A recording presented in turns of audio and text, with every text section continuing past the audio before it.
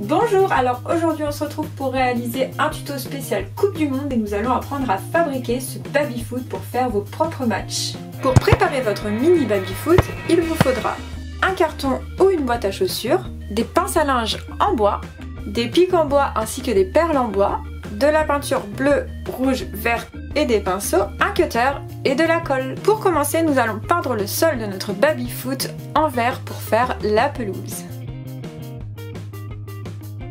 En attendant le séchage de notre terrain, nous allons venir peindre les joueurs. On va peindre en fait au niveau de l'ouverture ici comme si c'était le maillot de nos joueurs.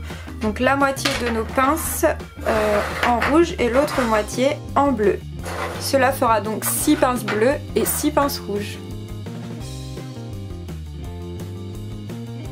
Mon terrain est sec, je vais venir maintenant découper à l'intérieur de chaque côté des rectangles qui formeront mes buts. Mes buts sont percés, je vais maintenant venir placer mes bâtonnets qui vont me servir de barre pour soutenir mes joueurs. Donc je vais d'abord les placer pour voir à peu près où je vais devoir faire mes trous. Et maintenant je vais percer des trous de part et d'autre euh, de mon carton pour pouvoir passer en fait les barres de mon baby-foot. Donc lorsque j'ai fait mes premiers trous, je vais venir passer en fait les barres à l'intérieur, ce qui me permettra de faire des trous bien en face à la bonne hauteur. Au niveau de mes barres, euh, donc comme ce sont des pics à brochettes, il y a un côté pointu, un côté moins pointu. On va, on va alterner. Une fois, on va rentrer par le côté pointu et pour le deuxième, on rentrera la tige par le côté qui n'est pas pointu. Je vais donc venir percer mes trous pour finir de placer mes barres.